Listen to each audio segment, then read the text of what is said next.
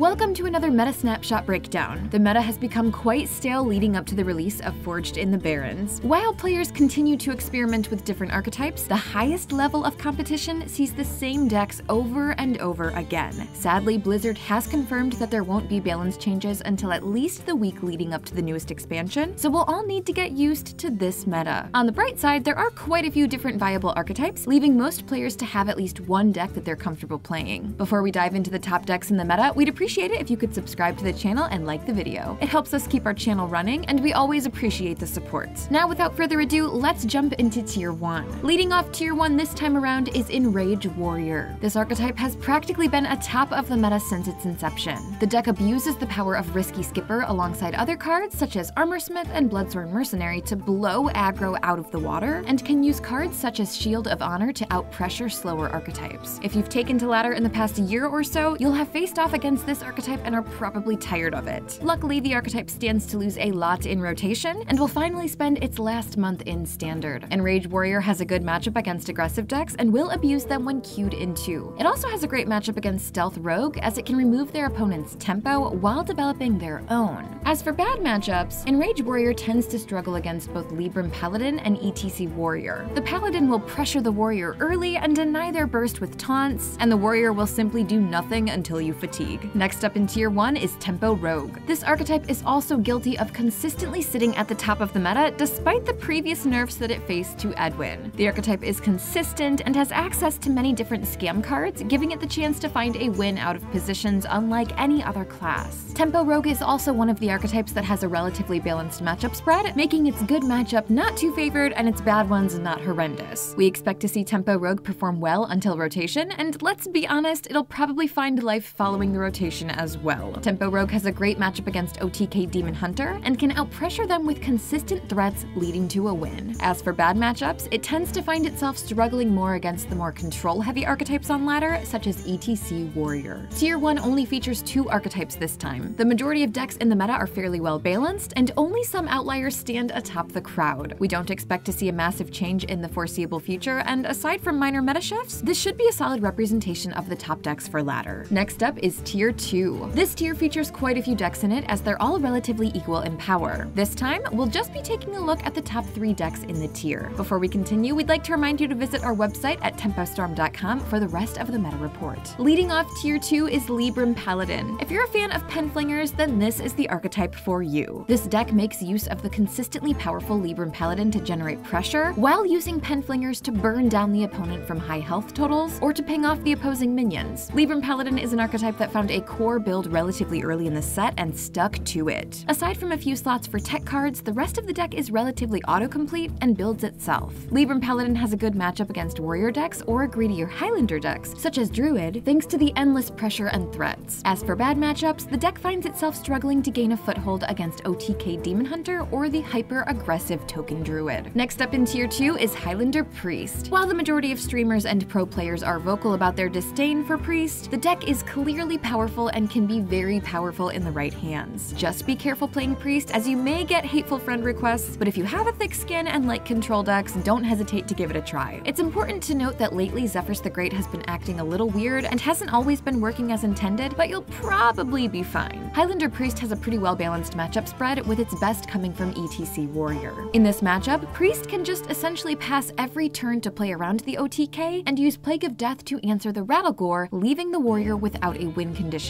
As for bad matchups, Priest tends to struggle against both forms of Rogue, as the consistent pressure through aggression or threats is often too much for little ol' Anduin. The last deck we'll be taking a look at today is Stealth Rogue. This archetype has stirred up quite the storm on Twitter lately, with players practically begging for nerfs to it. While it might not feel oppressively strong to play against, it often can feel uninteractive, leaving a sour taste in the mouth of opponents. On the bright side for ladder grinders, the deck is extremely fast, so if you're looking for a fast climb, this is the deck for you. Stealth Rogue performs best against greedy decks, with both Highlander Priest and Druid having a horrendous time in this matchup. On the reverse side of things, any warrior deck making use of Risky Skipper and Armorsmith will be the bane of Valeera's existence, and will require a relatively bad draw from the warrior player. The Darkmoon Faire is all but finished and will be coming to a close shortly. The newest expansion, Forged in the Barrens, will hopefully be released by the end of March, alongside the new core set and the annual rotation. Only time will tell how the new meta will shape up, but it's certain to be exciting. We can't wait wait to see what the new year brings, and we likely won't have to wait much longer. We hope you enjoyed this Meta Snapshot breakdown. If you did, be sure to subscribe to our channel for more content to come and to leave a like rating on the video to help us out. We hope you're as excited for the new year as we are, and we can't wait to bring you the first Meta Snapshot for Forged in the Barrens. Until next time!